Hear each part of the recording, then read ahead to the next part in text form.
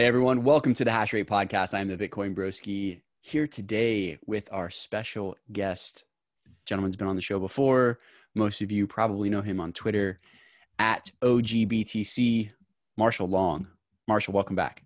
Hey, buddy. Thanks for having me again. Always a pleasure. The pleasure is mine. I, uh, you know, for anyone who wants Marshall's backstory, go and listen to the previous episode that we did. We talk all about how he got into crypto and into Bitcoin mining. Um, he was definitely one of the first to mine at scale. So we're not going to do that today. We're going to reserve this talk time for uh, just uh, Marshall's thoughts on what's going on in the industry right now. So, uh, Marshall, what are you working on right now? Um, so right now, um, we just finished a build out in Canada, and we are fast approaching our finish of our phase one build out in the states. Um, we're actually gonna start coming online next Wednesday. Um, that's probably consumed most of my time, I would say. Um, beyond that, uh, just trying to, uh, you know, day trade this ICO that's known as traditional equity markets, dude. oh, good old J Powell yesterday making life interesting oh, for yeah. everyone. Oh man, what what do you make of this situation right now? I mean, very broad question. What are your anybody that says inflation is good for you is so far out of touch with reality? Doesn't like, I don't, I wouldn't say it's a surprise, but I mean, when you triple your balance sheet effectively overnight and like the government timeline of things, I mean, you're gonna have to say something, I guess. Uh, I can say that most people in this space uh, who are in this space for like the fundamentals um, probably saw this coming. Um, and it's unfortunate due to the timing. I, you know, I was driving around last week and, and the food bank line was really long. It was scary, you know, because tons of people still out of work, but stocks are literally an ICO at this point. Like the they're just pumping crazy with zero fundamentals behind them. Everybody's balance sheets wrecked. Uh, you know, uh, it's just absolute insanity at this point. So, uh, you know, Bitcoin was spawned during a time of insanity, and I think this one's going to be even bigger. So, we'll see if Bitcoin shines. You know, this unlimited quantitative easing that we're experiencing. I mean, it's unprecedented, right? There's been inflation, and I guess there there are you know precedents with regards to inflation in other countries, but never from a country as powerful as the United States is now, where do you think this lands us as a nation in the mm. next 10 years? You know, it's interesting too, because I'm, um, I, I, am not going to say I'm like a fan of China or whatever. I don't really care personally, but um, it's, it's cool from like a geopolitics standpoint to see uh, China's reaction to a lot of this. Um, you know, you've got when you see uh, the reserve currencies start to um, inflate more than they probably should, the IMF's talking more about Bitcoin, more about gold.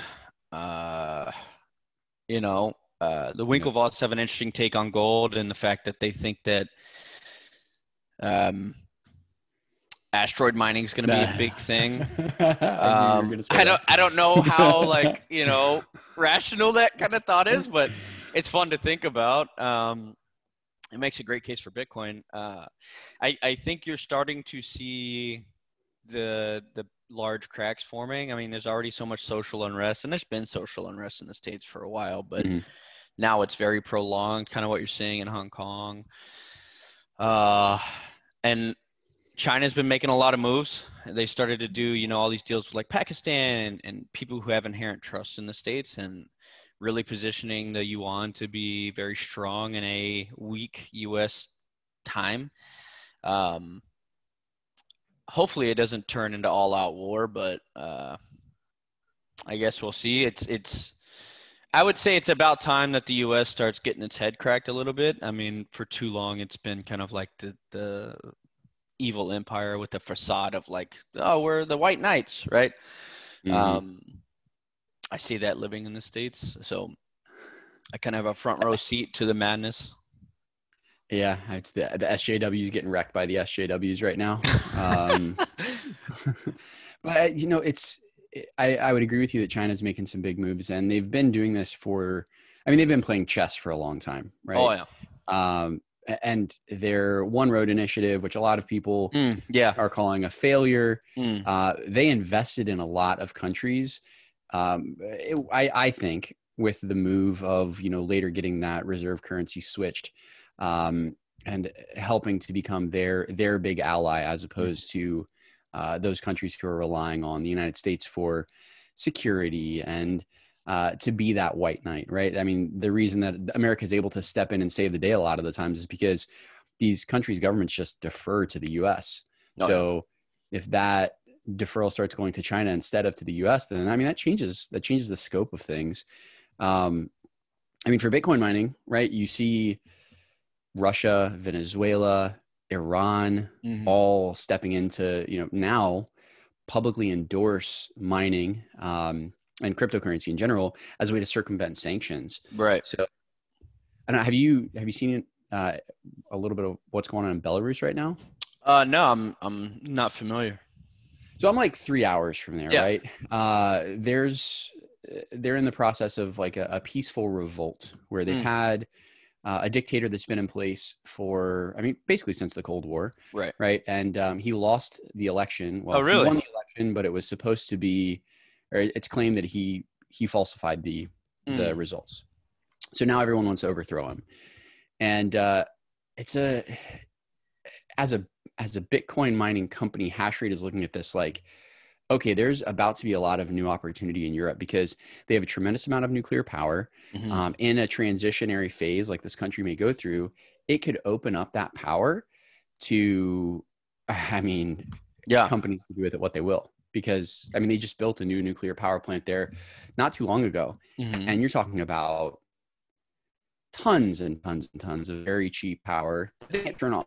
Right? So it's got to. That's right. They can't turn it off, Um, and and they're not able to kind of like use it in other places because not a lot of people live there. I noticed that when I um I went around Poland for uh, some esports stuff, and I just saw tons of nuclear power plants, and I was like, nobody lives here though. Like, what what's going on?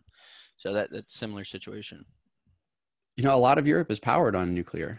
Uh, we actually talked to somebody yesterday that was selling nuclear power in France, and they quoted, I want to say it was like 1.7 cents. Oh, I'd like that You- guy's you- contact info.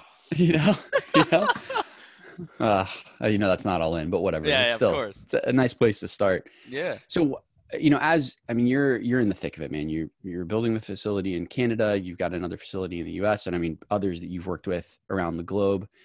What are some of the trends that you're seeing right now when it comes to to the build out? So I think the phase of uh, people getting wrecked from 2017 overbuilding is coming to an end. Um, the hardware, the really crappy hardware secondary market sales are slowing down. What's interesting now, though, is uh, the hardware is starting to dry up again uh, as the price starts to run. So what you're probably going to see is people who put orders down uh, for machines be able to sell those for a premium. I know we've got orders that are coming in, and now our manufacturers sold out until like March or April of next year. Mm. Um, I mean, Bitmain with the S17 pluses. Don't even get me started on that. We uh, we had a fair bit of uh, issues there. Um, What was your guys' failure rate on those? I, you wouldn't believe me if I told you. It's Like 20 or 30 percent for some people I'd heard. it's more. Jesus. Yeah, let's just say uh, Gion had a few late night phone calls from me. Uh, so, Uh, are you guys working now mostly with WhatsMiner then? I can tell you, man, that it's it's not prudent to just like only go with one manufacturer just because it's so niche. Um, I mean, we have some S19s, um, and they're fine. So you know, hopefully the S17 run was just a blip, and it probably was. But uh, I can tell you that we have started walking down the road with WhatsMiner, and it's been really a breath of fresh air. Their business uh, ethos is very different from Bitmain. They're more of um, they have a global look outlook as opposed to like a China first outlook, which is fine. You know, the S19s you weren't able to get them unless you had a Chinese company first, and then they Mhm. open sales to the states. Whereas WhatsMiner has. Um, eh, my first question to them was like, "Hey, what's the process if I have to RMA these twenty thousand machines?" Right? And their response was, "Well, we can get a guy out there to to kind of like teach you guys how to prepare the stuff, or like you know you pay for his time, and th- th- their flexibility Yeah. for a North American based operation is very great, and their hardware is awesome." Um, yeah, I think even last year they surpassed Bitmain as far as number of units sold, and I think this year for sure they will. Um, you know, they're uh, it's a great team, and they're very the communication's very on point. I've had nothing but but great experience with this with them so far. Let's see how this next batch of miners arrives go, but uh, yeah, I mean they're they're they're really good at communication for sure. What do you make of the whole Bitmain situation right now? Do you think we're close to a resolution there, or is this going to drag on for months? I can tell you that uh, they are, I think, very far from a resolution. Uh, and now with the issues that they've had with S17s, I, I've had a lot of talks with my colleagues that are even bigger than me, and they're all in on the S19 still. And I'm like, man, really? I mean, we're we're running diversified, but they're like still like, yeah, the S17s were just a, a small blip, and they're going deep on S19s. I'm like, all right. So I mean, the the other issue is uh, there's not going to be any improvements for at least two or three years, in my opinion, as far as you Mm. know efficiency, and so I I think it would be prudent for people to diversify their gear. And now with the coming shortage, I don't know if a lot of people know about that coming shortage, but there is a shortage looming and if the price starts to run i think you'll see a giant secondary market like we did in 2017 again so um, the game theory portion of mining that a lot of people don't know or think about or plan for is coming and then what's going to happen after that for the people who don't plan you're going to have a really crappy machines as the new ones come out and people bought too late so i think you'll see this cycle uh, start up probably towards the end of this year Mm. Yep. I mean, it's it's the same with with stocks, with shitcoins, with Bitcoin, with hardware, right? The the cycle is there because the price of these machines are basically pegged to the price of Bitcoin, right? yeah Um, you'll see it's the same with GPUs and with ASICs. The Mhm. prices run just as the the coin's price runs, and you get people that buy the top, and they get stuck with machines that they're never going to be able to ROI because once the price turns down, so do the prices of their machines. So they can't get out of the machines that they're in at a much higher price. Mhm. Um, interesting. So, I mean, with no improvements coming from Bitmain in the next two to three years, I mean, that leaves space wide open for others. Um, there was the announcement a couple of days ago about the StrongU SHA 256 ASIC. Have you given that a look yet? Uh, I've seen it. I've not given it a look. Everybody that says, "Hey, I've got a new ASIC," or, I mean, I've probably had three calls just this month for either, "Hey, I've got a new machine," or, "Hey, we found a way to mine at like one watt per T or whatever." I've had three of those kind of calls, and that happens monthly. And and the reality is, most people coming from like the traditional chip design world are are truthfully more capable than like a just a Bitcoin designer, Bitcoin chip Mhm. designer, because they're not that difficult. But everybody thinks they've discovered fire, and nobody, in my opinion, has. Um, that's the first thing I'm seeing. The second thing is uh, the new miners that come out. It's not just about how good your miner is as far as efficiency or how fast. There's a lot of other details that most people who are new to the game don't understand. Density, you know, how how big is your machine physically?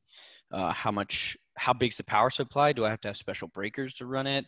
You know, I've had people like, "Hey, we got a 5,000 watt power supply." I'm like, "Okay, well, then my 30 amp breakers are going to have to be changed. So there's more op, uh, more capex that needs to be invested.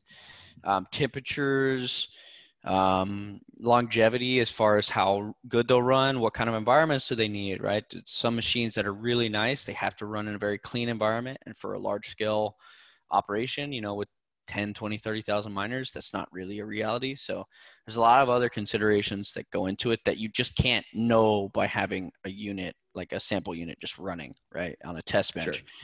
And you don't know that until you, you know, order up a thousand and your RMA rates 10, 20, 30%. And even qualified, you know, makers have these yeah. issues. So there's a lot to be seen for uh, especially StrongU. I'm, I'm anybody that says, "Hey, I got a new miner," my first thing is always, "Hey, send me a sample. I'll check it out. Definitely happy to get feedback." I've done that at least a dozen times to at least six or seven new manufacturers, and some of them work out. And then you have issues with meeting demand. If you're too mm-hmm. successful mm-hmm. for your own supply chain, then you're useless. So yeah, there's a lot that goes into it. God, what a balance. As we're facing this current bottleneck and looking down the barrel of a shortage even more. I mean, the TSMC plant that's set to open in the southwestern United States here in the next six months. Um, I mean, do you, do you see a North American manufacturer coming on anytime soon? I mean, is is it realistic? So that's a conversation I've had a lot actually over the past two weeks. Uh, I would say if it's TSMC, yes. The problem with it not being TSMC, man, running a foundry is insane. It's an, an a mind-boggling amount of engineering that goes into that, and even more that goes into like the daily operations. Like they're in the in the clean rooms, they're an order of magnitude cleaner than like a surgical room. Like it's really insanity level engineering, and that's why there's only a few foundries because it's just that. I mean, even Intel, a company the size of Intel, couldn't get past 10 nanometer for several years. So that it's not just mm-hmm. you got to be the top, top, top of what you're doing. So the reality of something that's not TSMC coming online, I would put money on being zero. Um, another question is uh, recently, you know, Trump said that TSMC had to stop making chips for Huawei. Uh, Philip Salter, actually, this morning on Twitter, the COO or something of Genesis Mining, good mm-hmm. guy, super yep. smart dude. He brought up a great point. He said, "Hey, look, if they say TSMC can't make chips for any Chinese company, what's going to happen to mining?" And that brings up all kinds of, in my opinion, good things like decentralization and mining uh, hardware longevity, and what could be a bad situation would turn into, I think, good for the network. But mm-hmm. um, I, I think uh, if TSMC can get it together, that's great. But there's a lot of logistics that, that go into that, right? So um, I would say it would be very awesome if they did, and they're the only people who can do it. God, if that happened, it would make life pretty awesome for everyone that's yeah. got hardware up and running already. Oh, yeah. oh man. That is basically sure. just give you five years without any increased competition because no one would be putting any new machines online. It would be glorious, and then it's just a race to the bottom for power. So then we'll see, you know, who's got the stomach as the price starts to run. Uh, so um, right now, with with your your facilities, are you mostly immersion or is it? So our our place in Canada uh, is not immersion. Our place in the states is. It's uh we, we think it's a pretty good design. We've been working on it for actually I started working on it in 2013. Um, after a conference in Brazil, a guy randomly approached me and it's like, Hey, I've got this idea to do this immersion stuff, like with this like car engine and this radiator I ripped out of an old Volkswagen. I was like, Oh, that's sick. Problem with immersion is there's a whole host of other things like the pipe design. Oh my God that's like a whole nother can of worms that like i'm most people don't understand you know fluid dynamics including me like there's a whole host of other issues that can go wrong you know um, those guys had to really refine the design for like three years to get it real sexy where they understood everything you know variable frequency drives and all this stuff that's just like real engineering problems um, for a mm-hmm. large scale op, I think that's the biggest challenge. Now, to the people who jump right on capex, right, like immersion and mm. the unreasonably high capex or the crazy capex, it's usually that's the the thought. So, why is that incorrect, or why do you feel that that's incorrect? And if that's not incorrect, why why go with immersion instead of right. air cooled? So it's a give and take. The capex, uh, if you have a refined design, let me caveat this whole thing: a refined design from both a cost standpoint and from operational uh, standpoint. If you have a refined design, your capex would only be maybe 10, maybe 15% higher from a build out standpoint. However, mm-hmm. it does many things. It allows you to overclock harder if you choose to. It allows you to have a bigger, uh, your better density. So if if uh, space is a consideration, um, the other thing is, in my experience, the reason I really like immersion, beyond all the benefits that you can get from it, is the maintenance and opex is so much cheaper. And it reminds me going from like gpu mining bitcoin to asics i was just like i'm never touching a gpu ever again getting a computer to run with like six or eight or 12 graphics cards is such a pain in the butt and i have no idea how you guys at hashrate os are able to not just constantly be like we're done we're done we're done it's just such a maintenance nightmare. And, and, hats off to you guys for doing such a great job with your management software that it makes it much easier. Thanks, dude. But, you know, typically for like a nice big air cooled setup, you're going to have one or two people per megawatt of power, mm-hmm. you know, checking machines and doing the day to day stuff. But right. for our new build out, we're running a guy for every eight or 10 megawatts. Wow. And so we're able to save on OPEX because the people that work for us, we, you know, they have benefits and they're well incentivized. They got stock options and all this stuff. So, I mean, that cost adds up. And onboarding new people, there's always the risk of like somebody you don't know well, you know, trying to get mm-hmm. one over on you, that kind of stuff. That's always a concern. So it allows you to also take risk off the table in that way. So there are upfront capex costs for long-term opex savings. That's the way I look at it. Gotcha. Okay, so uh, moving a little bit down a different path. It seems that the American way of doing business has really crept into, uh, not crept, it's like kicked in the door, and America is here when it comes to Bitcoin mining. We've got lawsuits being filed, patent infringement cases.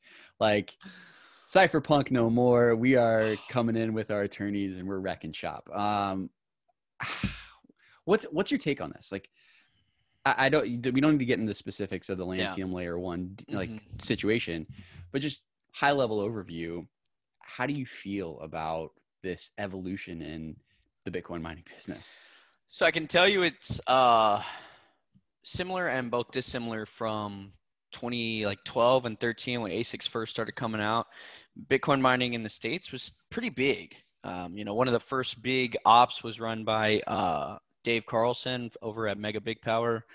Um, I don't think they do anything anymore, but um, that was when mining in the States was pretty big compared to the rest of the world.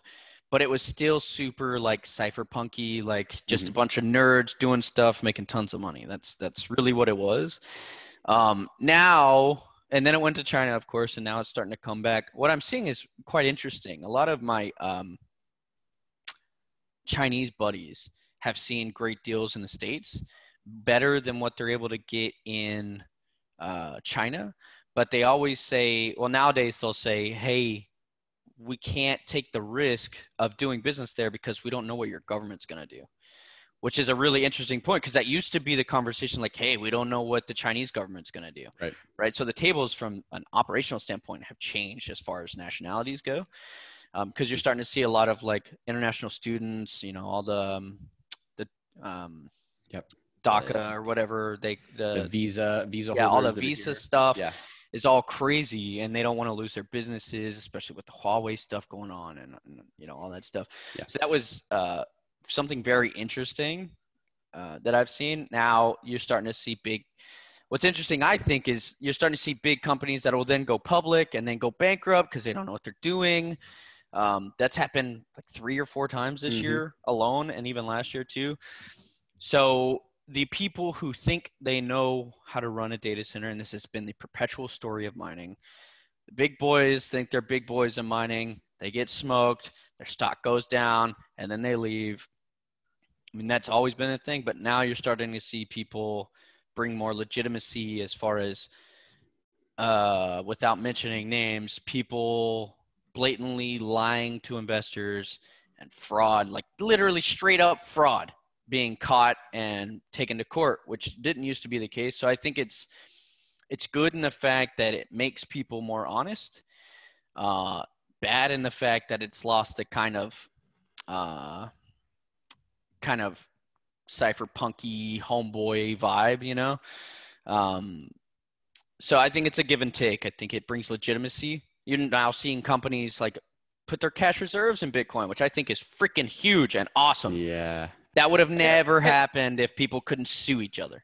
Well, and I mean, like, look, that that wasn't like, oh, you know, we've got uh, a million dollars. It, Yeah. it was a quarter billion dollars in cash reserves, right? Just a little, just a little bit, it's a little It's bit. so insane. And as soon as I saw that, I was like, we made it, boy. We're out Yeah. here. Woo! I was super hyped just because, you know, coming from the early days, you tell somebody you're into Bitcoin, oh, that's drugs, right? To now, like, large companies saying that a quarter of our cash holdings is in Bitcoin. That's so insane.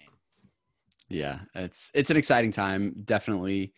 And I think you're right, man. I mean, y- eh, this kind of stuff can't be avoided. There's there's going to be some overlap in the way that people are doing business. Uh, inevitably, things. I mean, courts are there for a reason, right? Like that's why they're there to settle these disputes as they're you know as they're put forward. Um, I hope that the the Lancium and the Layer1 one we see- we get to see play out.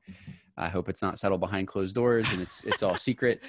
Um, eh, it's it's a curious thing. I, there's a lot of people that are now rushing to file defensive patents because they feel that Lancium is patent trolling. It's creating a, a bit of a, a challenging situation for uh, sometimes undercapitalized businesses that now think that they're on the cusp of releasing something groundbreaking, but they've got to devote a, a significant part of their uh, their remaining capital to you know getting lawyers and getting these patents in place, which is not a cheap process depending on yeah, you know what you're trying to protect. side, right? I mean, it's kind of, in my opinion, Bitcoin is kind of like by the people for the people type of mentality still, um, and that's that's one of the reasons I'm still in it. Um, and it's crappy to see young scrappy startups have to go through that, but that's not synonymous to Bitcoin, right? I mean, that's synonymous with any kind of tech company, and it's just kind of crappy because the law used to be for IP that it was first to invent, not first to patent in the states. I think they changed that in like 2014 or 15, which sucks because you used to be able to get if you had proof that you invented it first, you could go to the Mhm. courts and get the patent overturned. Now that's Yeah. not the case. So USPTO has always been kind of a crapper, and hmm I mean Yeah. that's just kind of the way it goes. Well, and let's be real here. All we're doing is hurting North American mining. Like this kind of patent stuff, uh, China doesn't care. Like patent all you Very spend- true. spend all your money on patents, Mhm. focus on fighting each other, and I mean, hey, they're just going to continue to to own own Bitcoin Oh, yeah. rate, you know. Um, but I mean, look, it's it is what it is. It's gonna it, it's it was bound to occur. You're talking about hundreds of millions of dollars, if not billions, uh, being deployed in infrastructure. Mm. Um, it's it's got to get protected, right? There are people that are going to spend the extra money to make sure that what they're building is protected. So, kudos to them. Um, okay, dude.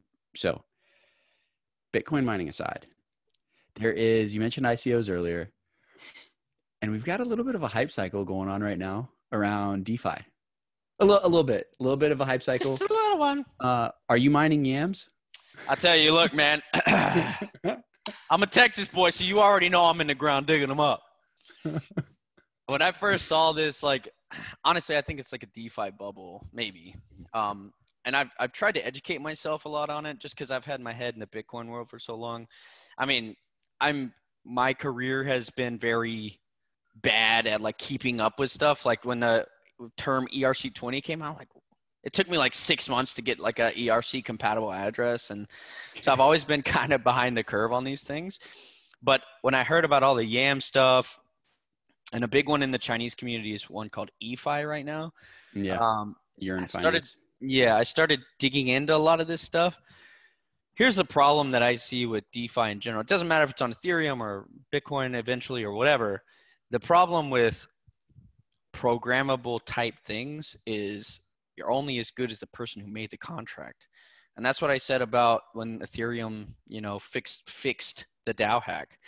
It's not really a smart contract if the developer's stupid. That's just kind of how it is. And um, I think it was on your podcast, uh, maybe last week. Um, somebody said something to the effect of these contracts are great until they get so big that they become then a target or something like that, where you know you spent so much time doing the development and you have you know a million or two million into the contract, and then after like overnight it explodes to like a hundred million, and you're like literally overnight you're a target, and it's really hard to do contract changes after this kind of ship has sailed. So from like a DeFi standpoint, it's really tough because you become your own target because of your success. So I don't think there's a way to fix that. And that's always been the problem, right? There's bugs in every kind of code. And when sure. you have code that's also money, it's super, super hard to fix that. So I think DeFi is awesome from a standpoint of program- programmable money and yield farming and all that. Um, I don't think there's any problem with that, but it's just a hard problem to crack. I mean, Ethereum is still having bugs, man, and it's been forever. And they have some of the most talented developers I've ever met in my life. Yeah. How do you fix that? I don't know. I mean, are we are we are we gonna see ETH 2.0 in the 20s? Like, is it? Oh, I've been hearing about proof of stake, proof of stake. The first time I really heard it, it was uh, I was at the MIT, maybe the first or second MIT Bitcoin conference, and Vitalik was just sitting there, and I was like, "Hey, man, uh, what do you think about this? You really think you could pull it off?" And this was like 2014 or 2015, 16. I don't know. My years are all run together at this point. And and he was walking me through like, uh, you know, the uh, Nova Coin. I think was like the first proof of stake coin or something like that. Okay. And how the difference is there, and and I was like, "Oh, that sounds great," but I mean, we're halfway through 2020 and they still can't get it right. And that, look, I know it is a very, very non trivial change. Sure. Any kind of consensus change is incredibly difficult. Um, but this like whole 2.0 thing, I'm not going to be the person that's like, oh, they're just bad devs. It's just like a really freaking hard problem to solve. That's just the reality. Yeah, and I mean, look, when but I mean, if you build something eh, to go back and fix it is, I mean, oftentimes harder than to just start yeah. from scratch and build it again. And I think that we're seeing right now uh, other smart contract platform platforms that have fixed it, right? Like, mm-hmm.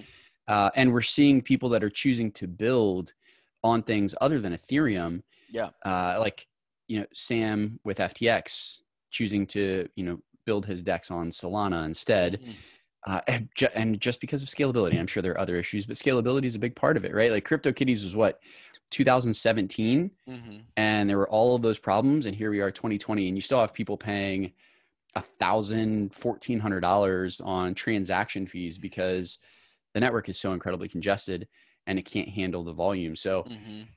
yeah, I mean. It, the parallels sucks. between the growth of Bitcoin and the growth of Ethereum are really, really similar, in my opinion. And you know, I, for better or worse, started a project called Bitcoin Classic, which kind of morphed into Bitcoin Cash. So I really understood the like growing pains of a blockchain, and even more so because it's an open source, community driven thing. It's mm-hmm. just hard to get people to agree. Yeah, like over a hundred people to agree is damn near impossible at this mm. point and that's always been the case, not just for software. And you know, I'm sure when they do ETH 2.0, there'll be another sect of people that fork off to do, you know, Ethereum Classic 2.0 or whatever they're going to call it. Uh, I don't know, but that's the beauty of open source software, and that's the beauty of what we do, right? If you don't like it, take your toys and go home and do your own thing. Um, and that's really, I think, the power of the internet. So um, it's going to be really rough and for people that have infrastructure invested, I, it it also reminds me all the the flight of DApps to different chains. When EOS first launched, I was mm-hmm. a block producer for a year, and the RAM costs were whatever, and people developed solutions to fix that and all this. But you still saw DApps flying to other chains like WaxChain and Telos and these other very similar kind of feeless type scenarios. Yeah. Um, and now you're seeing people move to like Solana and uh, Cosmos and you know all all these other things. So it's just like governance is I think never going to be solved from like a programmatic standpoint. And anytime you have to make a consensus change that requires governance to be in place, it's just hard, man. And I don't know that there's a way to fix it. I'm of the belief that governance doesn't work early in a, a business. Like mm. uh, a consensus like ruling by committee um, is great if you have an established product, established profit, um, and it can be passed off. But I Mhm. think that at the outset of a business, there really has to be a, like one driving vision, one one leading voice um, that can guide the others. And it's not to say that it's you know a dictator and the followers, um, but there needs to be you know a support around the belief of you know the person who founded it. I think that Ethereum has what like 35 co-founders, Mm-hmm. um, something like that. So it started off in this model, and it's just tough. It's tough to get things off the ground in that way, and they did, I think, a, a great job to this point. And um, God bless them for bringing some profitability back to ETH mining. You know, No joke. No joke.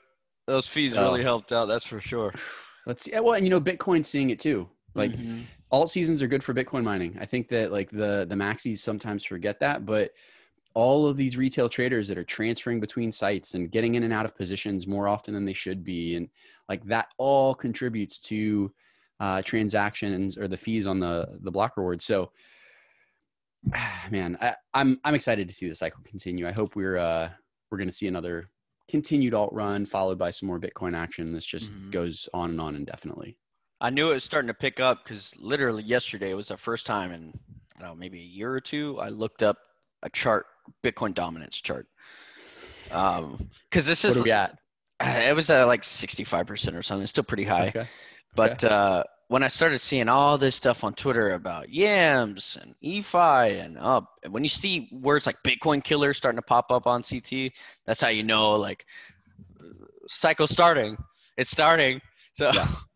it's uh. But what Max Keiser always says is shit coins were made to steal your Bitcoin. So um, I'm of the belief that that Bitcoin is still probably uh, going to remain the king as far as Yes. market cap and that kind of stuff, just because the network's so secure and it's been around and institutions, all this blah blah blah.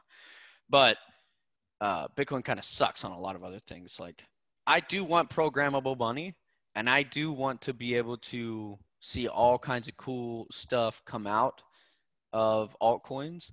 So I, I do think there's still use for them, but um, it's just tough, man. It's really hard Yeah. because the more deep you go into it, the more vulnerabilities you make. So Yeah, I mean, I'm hats off to Jack Mallers uh, with Zap and, and Strike for all the work that he's doing. I think Oh, that yeah. you know that's some some cool stuff that he's building on Bitcoin, and the innovation just has to has to pick up. I mean, uh, it's you know when you have so many talented devs scattered across a ton of shit coins that are looking to build. I mean, it's just if you were able to consolidate all of that onto Bitcoin and get them all building on on Bitcoin, it would be it would you know uh, the innovation would be uh, something to behold, and I'm sure we'll see something like that soon. Like uh, there's there's going to be a breakthrough. I there's so many people that are working. I don't on know. It. I had There- big hopes for Rootstock. Um, you know, Mhm. Sergio is probably one of the most talented devs in the space. Um, but for one reason or another, it's just not heavily adopted. I know Rootstock has had a lot of great innovation, but uh, and I'm not super boned up on it. I just know that it's a cool protocol running on Bitcoin and that can en- enable a lot of stuff. But uh, I think people are just so obsessed with Ethereum that it's hard to kind of get more people attracted to and also the development culture is way different you Mhm. know I, I don't know if you've ever been to like um uh, an ETHCon, like a developer Ethereum convention. I haven't. It's so different than a Bitcoin developer conference. You know, like scaling Bitcoin in Montreal and, and Hong Kong were like very, like very, very hardcore as far as like we're here to talk about development. And and then I go to this Ethereum developer conference in Toronto, I think it was, and Vitalik and the core devs are just like dancing on stage. And I'm like, Yeah. this is the the culture is just so night and day, and it's Yeah. great. So I, you know that and that culture attracts a lot of people. I mean, me included. I, hey, I'm the first guy to say, hey, let's get weird. You know, so I think the development culture is also very different. So Absolutely. Well, okay, you know, Marshall, as we uh, as we wrap things up here, man, is there anything else that you'd like to share with people? Anything that's on your mind that we haven't talked about? Things that you're noticing that maybe you want to point out? I would say that it's super easy to forget why everybody is here. Bitcoin is, and just crypto in general, is still exciting. Think, look at all the crap happening around the world, you should still be excited that you at least understand how to have your own financial sovereignty, how to circumvent any kind of shenanigans that the government could throw at you. At the end of the day, if you are empowered in that sense, you should feel good about your standing in the world. Doesn't matter if you have a ton of Bitcoin or not, but you have the tools to protect yourself and your loved ones. And that's what's important. Mic drop. Marshall, thank you for coming on the show, man. Hey, thanks so much, Whit. Hey, it was a pleasure. And to all of the viewers and listeners out there, thank you guys for tuning into the HASHR8 Podcast. Make sure you subscribe on whichever platform you're listening, leave us a rating and review. And until next time, we'll talk to you guys all again very soon. Thanks for watching this episode of HASHR8 Podcast, a HASHR8 TV production. If you enjoyed this video, please consider liking, sharing, and subscribing for more great content like this every day of the week. In addition, feel free to leave a comment below and let us know who you'd like to see on the next episode of HASHR8 Podcast. We'd love to hear from you. Also, if you head over to hashr8.com, you can sign up for our free weekly newsletter, Difficulty Adjustment. Every Wednesday morning, we provide you with the latest news and information on Bitcoin, cryptocurrency, and mining. Plus, each week, one newsletter subscriber will be selected at random to receive a free Ledger Nano S cryptocurrency wallet. So go ahead and sign up today. Who knows? You may be the next lucky winner. Want more from HASHR8? Follow HASHR8 TV on Twitter. It's the easiest way to keep track of our newest content all in one place. That's at HASHR8 underscore TV. Thanks again for watching, and we'll see you very soon. Please remember that all content appearing on this or any other HASHR8 channel is strictly for informational and entertainment purposes only. You should not construe any such information as legal, tax, investment, financial, or other advice. Consult a licensed financial advisor before investing yours or anyone else's money.